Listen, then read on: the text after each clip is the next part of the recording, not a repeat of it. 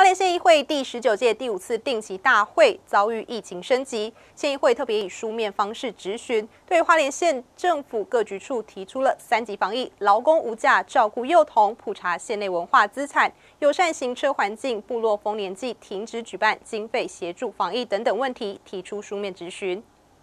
这一次的书面质询当中，县议员魏家燕是提出了包括计程车未戴口罩是否加强宣导、三级防疫、老公困扰美甲照顾幼儿、文化资产保存法、普查县内文化资产、消除对妇女一切形式的歧视，包括生理期用补助、紧急纾困补助。路口机车两段式左转与县内进行机车友善行车环境等等的议题，提出了几个让县府去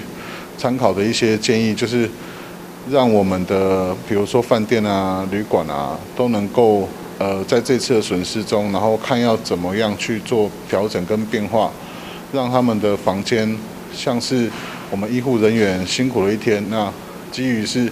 不要回家，那是不是可以提供一些旅馆，然后由县府去做补助，然后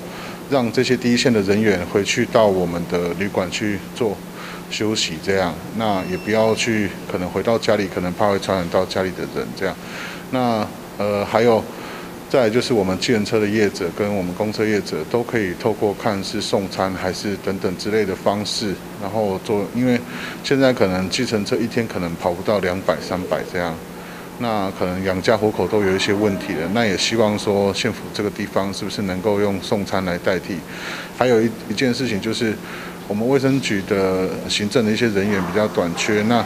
也可以透过可能安心上工的方式，可能多找一些可能就业或是失业的人，比较尽量不要去有疫情的关系，但是就是行政的流程的部分，让他们去呃可能接线生啊，或是登记啊，或是造册等等啊。那再来就是我们的那个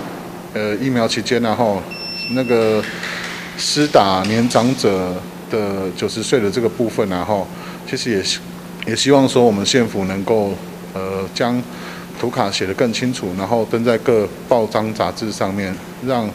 因为毕竟年长者他们比较没有办法去了解到脸书的这个部分，那也是听可能亲友啊、孩子啊口耳相传，那是不是说？我们可以让这些年长者更清楚的了解。县议员蔡义静则是提出，部落丰年祭活动停办经费，建议协助部落控制疫情。风雨计划第二期工程经费保留，中区部落聚会所工程进度给予学校除工薪资补贴以及运作成本补助，筛检站及疫苗施打地点动线是否重新规划等等的书面咨询。对，因为今天呢，呃，我们因为疫情的关系哦，所以我们现在是采书面的咨询。那这边呢，我就就我们呃原民处呢，他在一百一十年度的时候，针对我们的部落的祭典、祭仪的部分有编列预算哦。那这个预算是七百七十万。那这个这个经费呢，因为目前受到我们疫情的影响，有很多的部落就陆续的呃宣布说停办祭典，或者是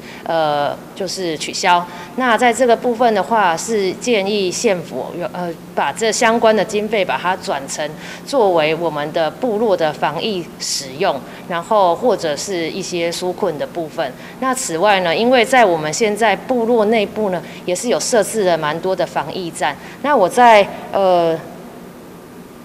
呃，先前呢，就是有六月四号的时候有询问过原民处，那原民处得到的回复是说，各个乡镇公所目前自主防疫站的数量啊，预理为十二处，光复是一处，丰滨是三处，卓溪乡十二处，万荣乡十五处，那其余八个乡镇都没有设置。但是其实秀林乡公所在六月一号的开始呢，就在全乡九个村、二十个部落设置了三十八处的呃防疫检测站。所以呢，是不是我们的原民处对于部落的防疫检测站的部分的资讯，其实并没有做很充分的了解？那在这里呢，也建议我们的原民处哦，要在部落的防疫的部分呢，再更积极的来协助部落。那此外，强烈的建议在相关经费上面呢，给予部落在防疫上的资源。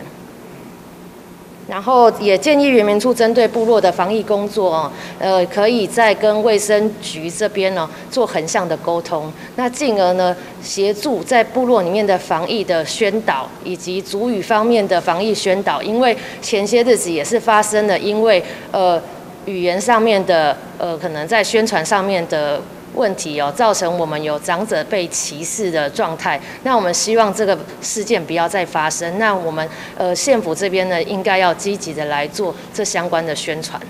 记者林杰花莲市采访报道。